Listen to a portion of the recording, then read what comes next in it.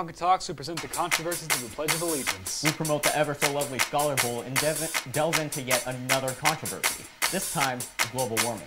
All this right now on Tonka Talks. Let's go.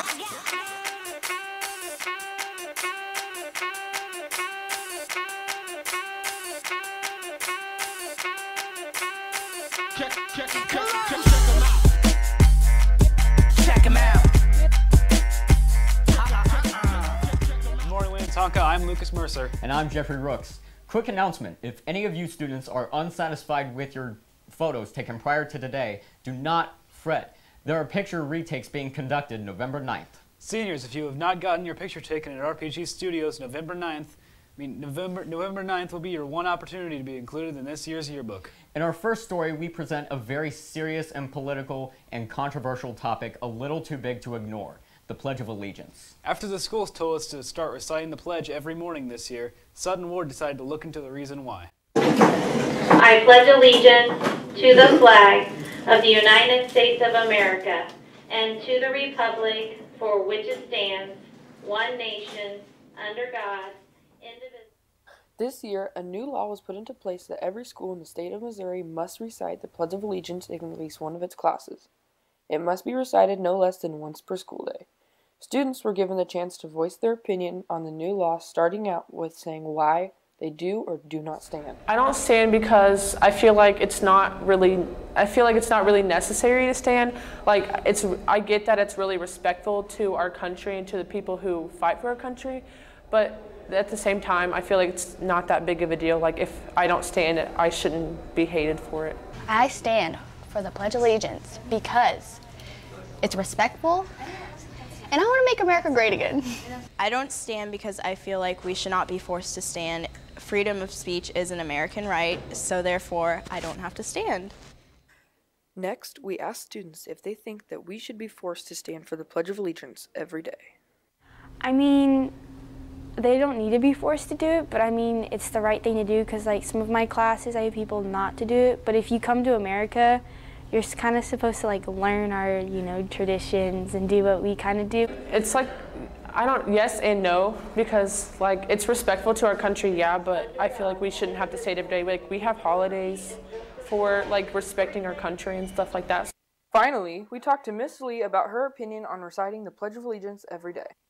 Yes, I think it's important that you should stand during the Pledge of Allegiance because it's honoring your, your country and showing that you have respect for it. Um, in Cafe A, though, we do not have a flag currently. Um, due to the remodel, possibly, they haven't hung a bracket for one. And so we don't have anything to pledge to. And then um, the speaker is not in Cafe A, so sometimes it's really hard to actually hear. As a student or a teacher, it is your right to do whatever you want as an American citizen. Stand or not, it is your choice. In our second story, there's a- there's a little something something we'd like to share called Scholar Bowl. Warren is here to tell you how to put your knowledge to the test. Winnetonka Scholar Bowl is hosting a trivia night here at Tonka in the library. If you think you got the brain power to win, then come sign up for $5 for your student or staff, $8 for adults, and if you want to bring a whole squad of 8 people, it's $50. Win or lose, you still be helping out a fundraiser. And they got snacks on deck. So come through on Friday, November 11th at 6.30 to 9 p.m. Big brains, big rewards, fellas. We have yet again another touchy subject. That subject, climate change. Or as it is also known, global warming. As we've noticed, temperatures are rising. Winters are turning into summers. We send Layla out to present the information she has collected thus far.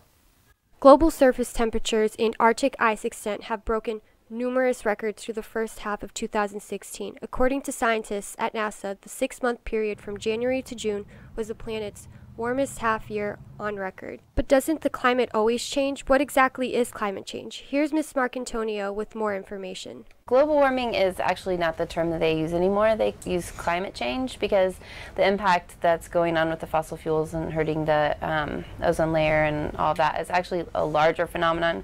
So climate change can mean everything from from global warming to also like the increase in the storms and the um, rising temperatures of this of the waters of the oceans and things like that are all due to climate change.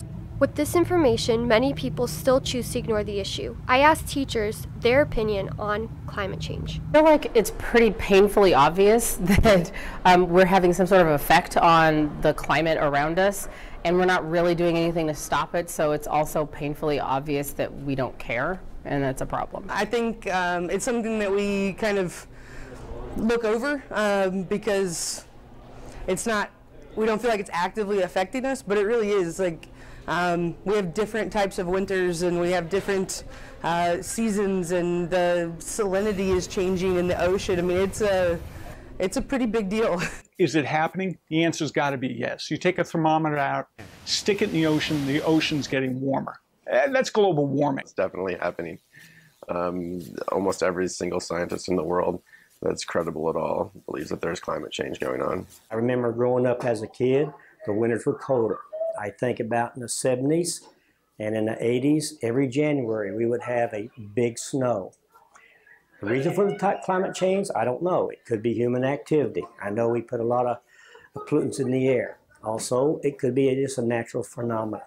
Why might climate change affect us and the planet, and what can be done for a change? Probably there's not enough being done. I think that everyone's really worried about short term uh, things, and I think that it's probably one of the largest uh, concerns that I have long term. Um, until America is free from its dependence on fossil fuels, whether foreign or domestic, it doesn't really matter.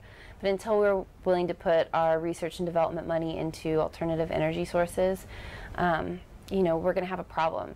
What we can do at this point is that we can try and mitigate uh, the damages, which is kind of scary. Uh, so yeah, this is something that's going to be with us our whole lives and beyond just our lives, you know, our children's lives and our grandchildren's lives. From 1950 to present day, the world population has left 2 billion and is now at 7.5 billion. We got way too many people on this planet. Way too many people that are burning more fuel, more energy, and the population of this world in your lifetime, in your lifetime, is going to hit, I'll even say 10 years from now, will be 9 billion people. And you know what? If you can't trace it to the population on this planet, you haven't got a clue. This is all we are presenting, but remember, if you want to know more, please make sure to research information. And if you do, make sure said information is credible and supported by evidence. That's it for this week's episode. I'm Jeffrey Rooks. And I'm Lucas Mercer. We'll, see, you next week on Tonka Talks. Check out bounce, lesson in y'all, that's from the south. Too complex for the rest it's out. I ain't nothing like y'all read about. Huh? Now settle down, let me turn my head around, cause my comp is so behind me. I can't see them through my rear view.